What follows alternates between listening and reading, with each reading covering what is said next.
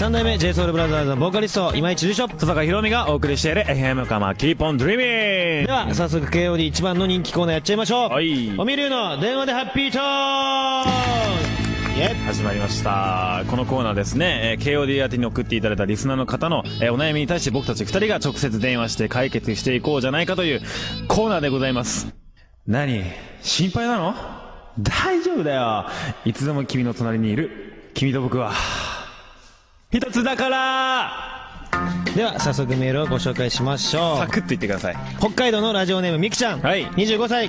方からいただきました。はいありがとうございますお二人に相談があります、はいはいはい。高校の同級生だった人とクリスマスに入籍予定です。うわーおめでとう。夏に私の大好きなディズニーシーで誕生日が近かったので、誕生日のケーキとミッキーの刻印が入った指輪でプロポーズをしてくれました、ん。いつもサプライズやられっぱなしです、うん。えいつも優しくて私のことを一番に考えてくれる彼に逆にサプライズして喜ばせてあげたいのです、うん。え今まで小さなサプライズはしたことあるんですがもっとすごいサプライズをしてあげたいです、え男性目線で相談に乗ってアドバイスお願いします。ということでなるほど。えーラジオのミキさんからいただきました。なるほどです。電話してみましょう。しましょミクちゃん。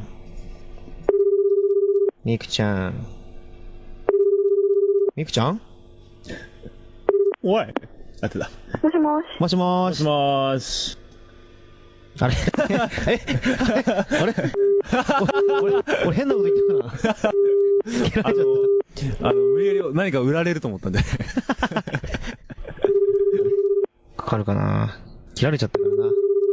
ミクちゃん。失礼。もしもーし。すいません、切っちゃいました。ミクちゃん切っちゃダメだよえー、三代目 j s o u l b r o t h e r 今市隆二です。はじめまして。はじめまして。えー、戸坂ひろみです。あ、はじめまして。はい、というわけで、あの、ハッピートーク当選しました。えイエーイイエーイえー、もう、もう、もう切っちゃダメだよ。あ、大丈夫です。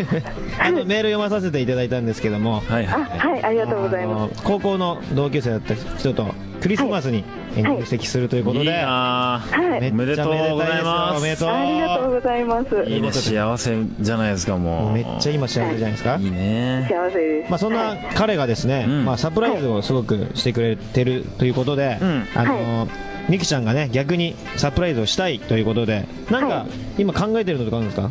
えっと、うん結婚式が5月にあるんですけど、あ、はいはいなるほどなるほどはいはいはいで、その二次会で結構友達とか呼んで二次会もするので、はいはい、うんその時うんになんかしたいんですけど、泣かせたいんですよね。なるほど、なうわるほど。ーそのパターンいいっすねう、ん。